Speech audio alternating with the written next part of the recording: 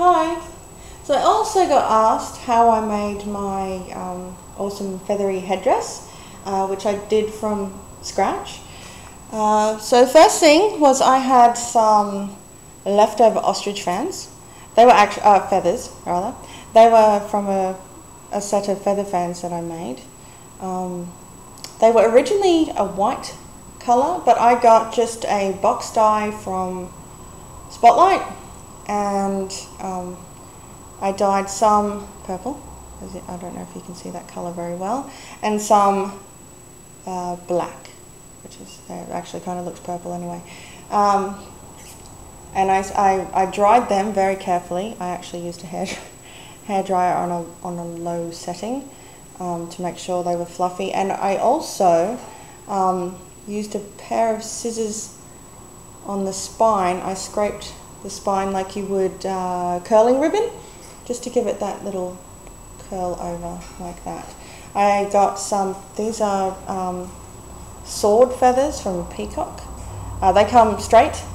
I did the same trick, the curling ribbon trick, and made those nice and round. This here is actually a pad of um, peacock feathers. You can find that at craft stores. Uh, this was just a little thing I had lying, I think I got it at Spotlight a couple of years ago. They have similar stuff. Um, so that's how I did the feathers, and I just arranged them the way I liked. I sort of had a plan, I did um, draw it all up first. Um, as for this here, um, that's an applique I bought on eBay.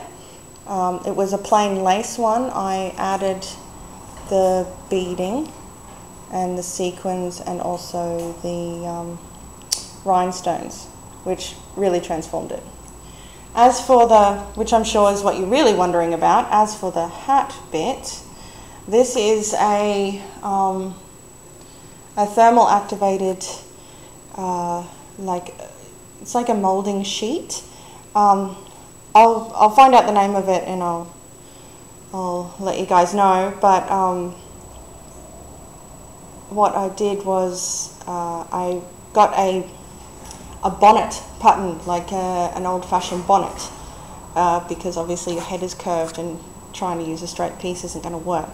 So this is actually three pieces um, from a medieval bonnet pattern. Um, and then I joined them together because it will stick to itself when it is heated. I used a heat gun, but I have heard that you can use a hairdryer if you're quite patient.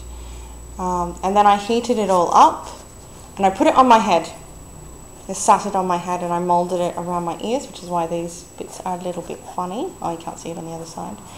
Um, and then I got some spray adhesive uh, and it's important with spray adhesive, you have to spray the, uh, both sides, otherwise it is a temporary stick and not a permanent glue down. So I sprayed both sides outside, got it over everything, and it was quite messy, and it's still a little bit sticky inside, so make sure you clean it off properly. And I stuck down the glue. It was, it, as you can see, it's not the neatest inside, but nobody's going to see that. You just need to, and there's a couple of spots where it's a little bit creased, but I'm not an expert milliner. Um, and then I hand stitched this on afterwards, hot glued the feathers on, which I had sort of hot glued to each other first. And uh, just make sure when you are putting your feathers on, they need to be staggered, otherwise they're all kind of going to bulk up down the bottom and they're also going to not have that multi-leveled look that you get here.